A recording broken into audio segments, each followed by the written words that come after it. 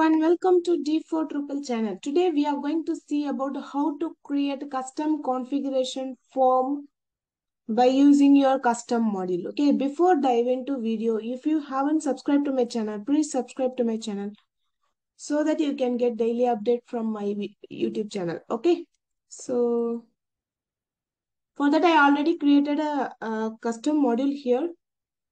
So this custom module contains only one info file so info file contain only basic details.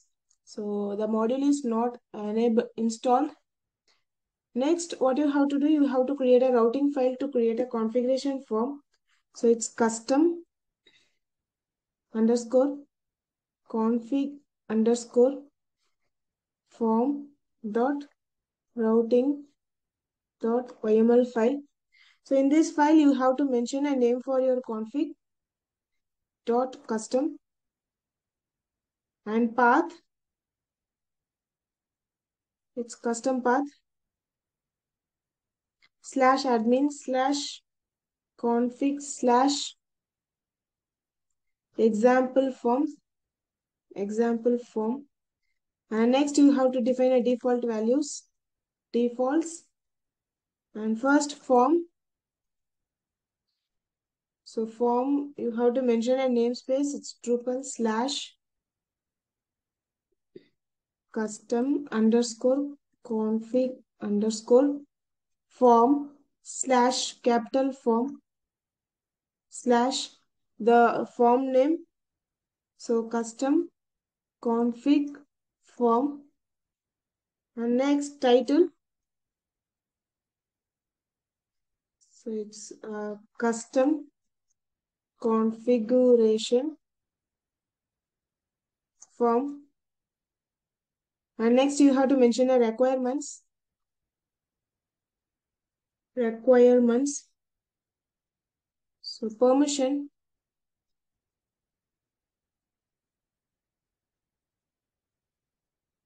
Administer site configuration. Administer site configuration so now we successfully created a routing file. Next, you have to create this file. So src form dot php file. So here you have to mention namespace Drupal slash custom conf config underscore form slash form. And we are going to use the uh, config form base from the code. So you have to mention that in the namespace. So it's drupal slash core slash form slash config form base Next, you have to mention a form state interface. So whenever you have a form in Drupal, you, you will be having an argument called form state interface. So we are going to get the value of uh, form in the submit form or validate form by using this form state variable.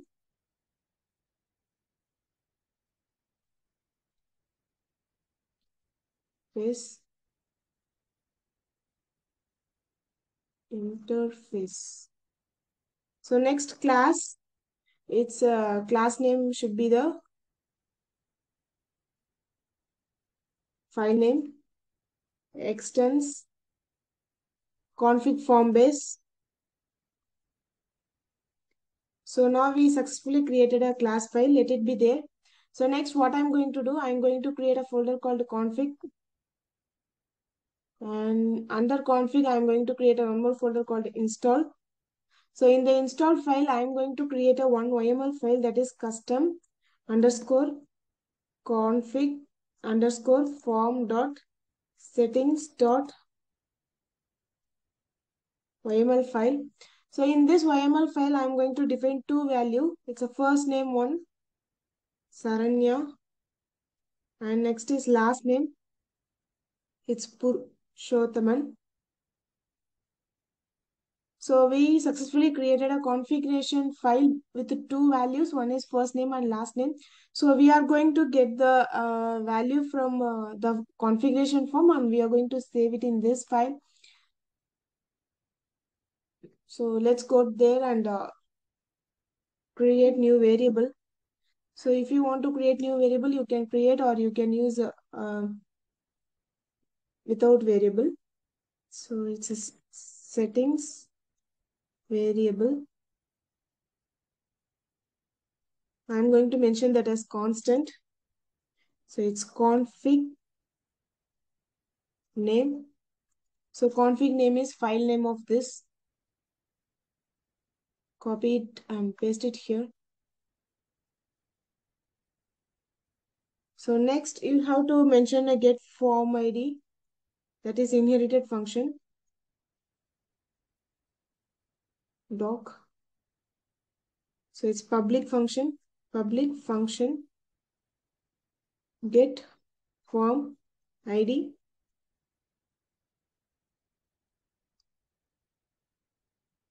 So return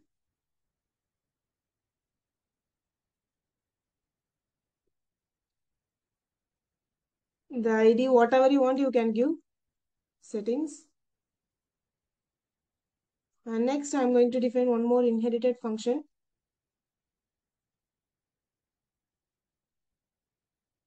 Inherit doc, inherit doc. Okay. So this is a protected function. So protected function that is a get editable config names. So here you have to mention the YML file which you which you are going to update. So that is uh, a return. I have created a variable for it. So I'm going to use a static keyword. So static will get the value from the current class object. So static config name.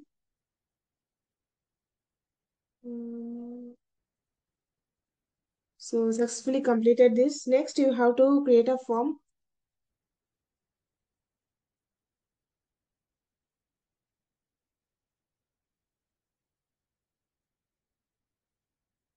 Public function.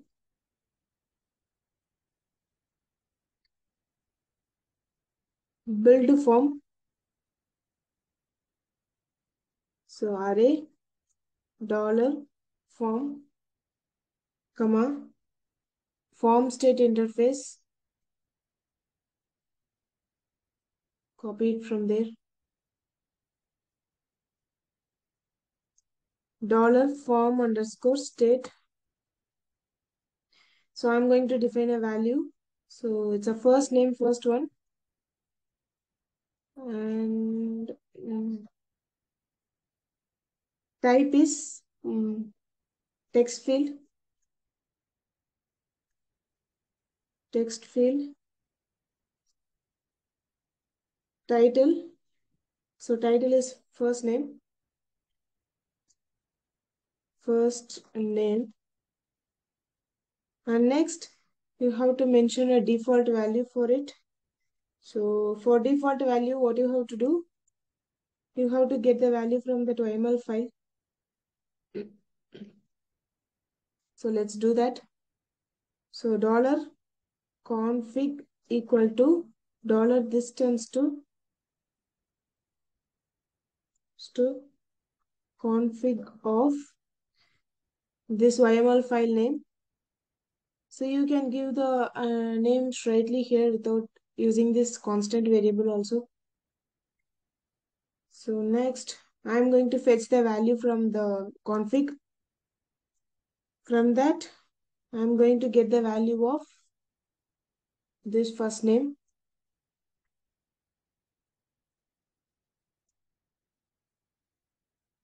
so let's copy paste the same for last name. It's last name. Last. So once this is done i'm going to return the form. So i'm going to return the form with parent. So why we are returning the form with parent means we have created only the uh, first name, last name here, right? So we didn't create a, a submit function and all right here, submit form. So when you use parent call function, it will get the remaining attributes from the parent class. Okay. So next is submit handlers. So we are going to save the configuration value to the YML file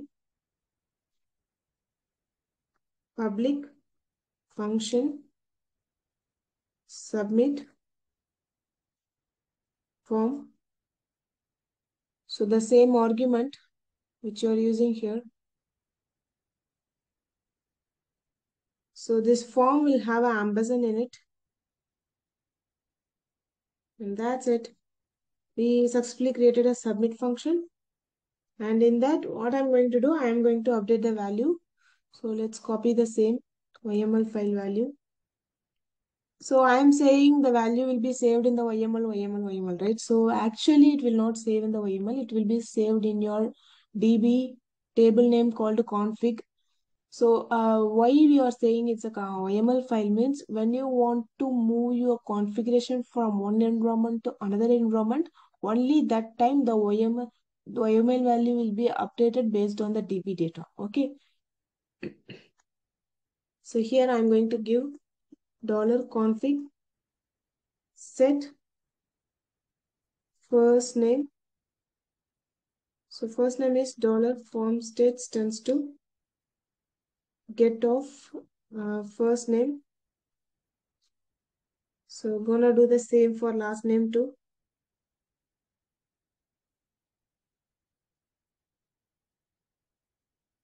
So finally, we have to save the configuration. Dollar config stands to save. Okay.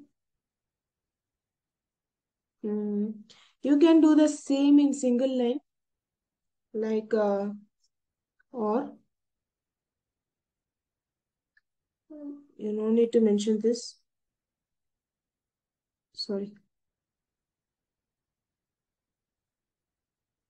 This one. And uh, you have to remove the semicolons. Okay. So if you run this way, this way also it will work. Okay. So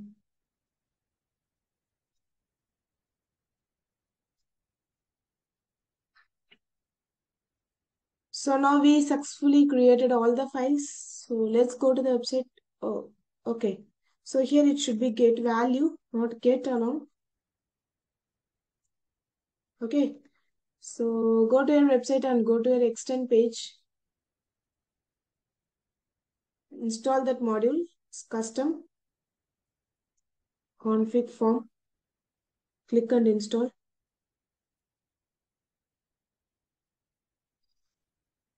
It's throwing error. So let's say what error it is.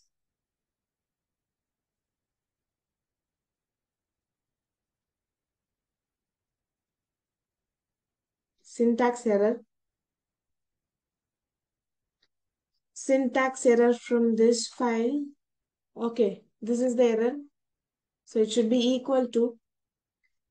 So now let's refresh.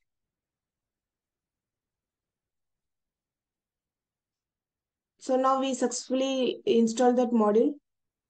Go to your configuration, development, synchronization, export. So single item. Here, um, custom config form. So here you can see it's uh, first name Saranyas, uh, last name Purushothaman as we mentioned in your YML file. Okay. So uh, next you have to go to the routing.yml file and copy the path what you have here and paste it there. So you can see it, it, it you can see it took you to the configuration form. So default values are pre-populated. So I am going to update uh, last name as Ashok Kumar and save the configuration. So now we successfully saved it and the value also updated. Let's go to the YML file and check.